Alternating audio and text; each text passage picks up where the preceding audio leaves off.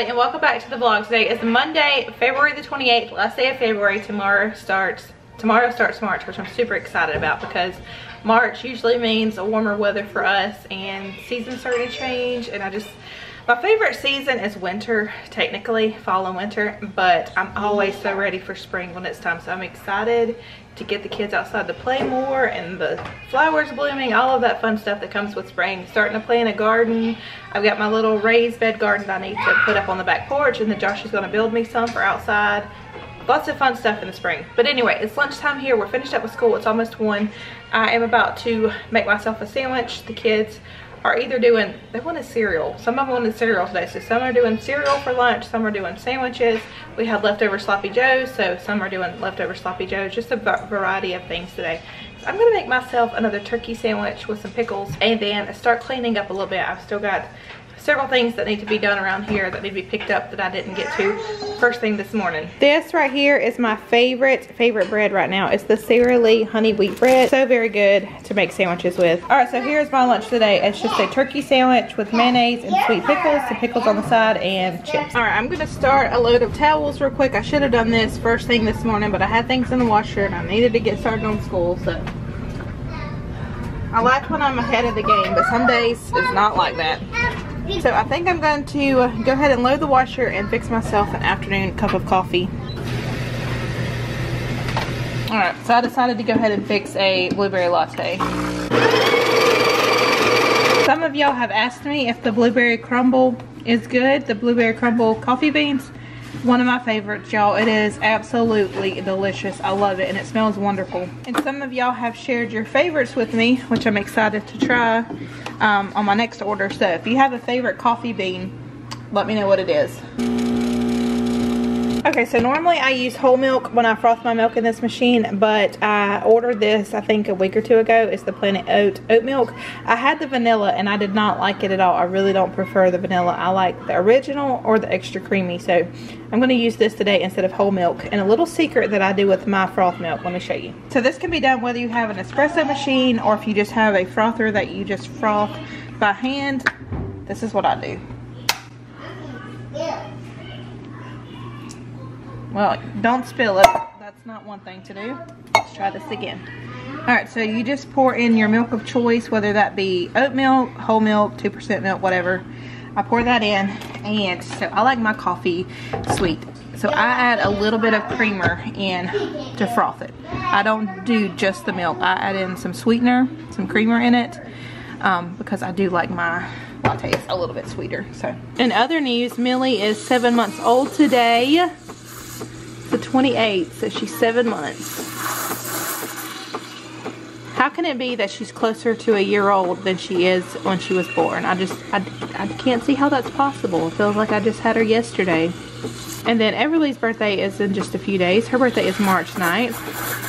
I go ahead and clean this off right away so the milk doesn't stick to it. All right, man, the little ones are headed outside now. I'm gonna check on the chickens. I'm gonna give them some feed, some water, and check and see if we have some eggs. Since the coop has been moved, makes it much easier just to walk through the backyard to get here instead of having to go all the way through the fence in the field. So they're right here. Are you girls waiting to eat? Say, are you girls waiting to eat? We have 10 eggs. Oh my. You may want to run up there and get the basket for them, okay? Okay. There we go. Mama, on or off? Okay. Uh-oh. Uh -oh.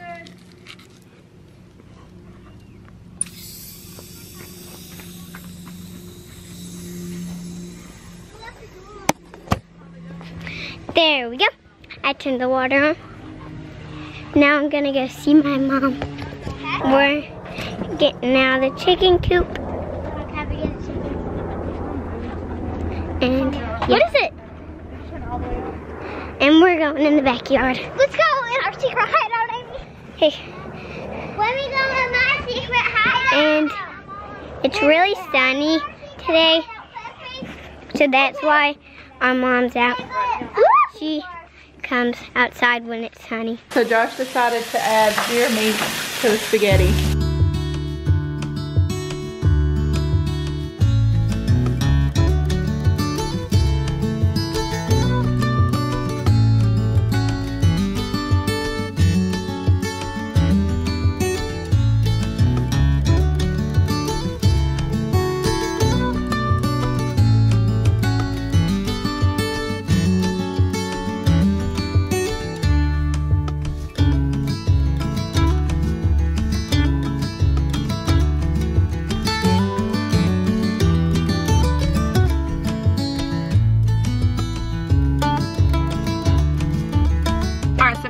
After dinner, and we ran out for a minute. We had to run by the church. Um, I wanted to put some di diapers in the church because I noticed we were getting out. So I put them in there and I also wanted to get the youth book because I'm teaching youth this Wednesday night. So we ran in there for one minute. Now we're getting back in the car. I need to stop by the grocery store. I have not done a like big grocery haul yet. I've just done like little hauls here and there. So I need to stop by the grocery store and get a few things because the girls start back to school tomorrow, my three oldest girls, and they need some stuff to pack for lunch. So it's already almost 7.30. We're gonna stop by the grocery store real quick and then head back home and start getting everyone ready for bed.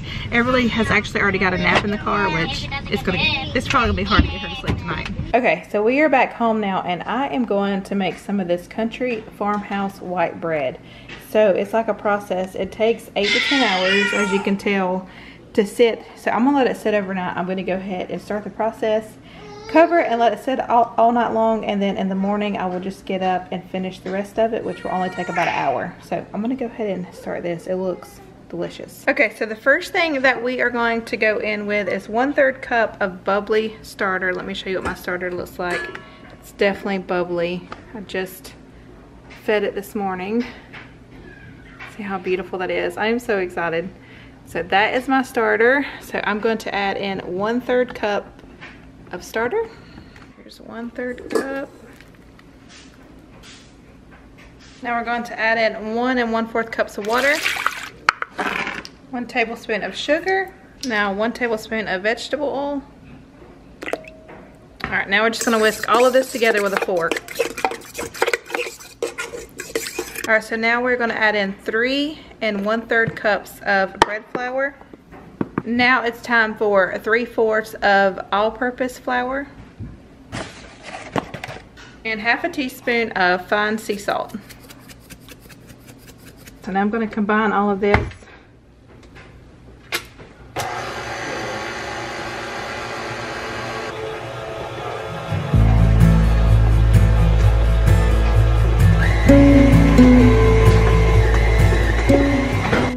Okay, so you want to finish working with it with your hands until you have it into like a perfect formed ball. It took me a little while to do this, but once you get it done, you just put it into a bowl, cover it for 8 to 10 hours.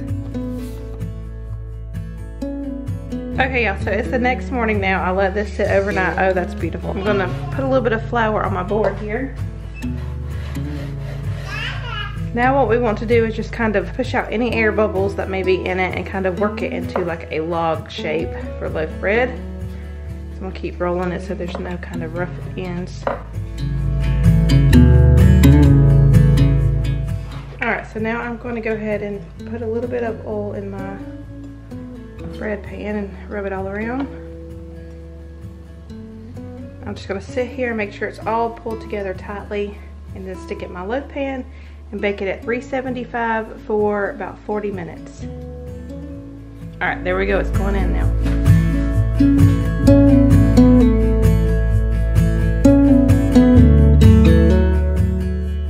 Y'all, the bread was so, so very good. It was delicious.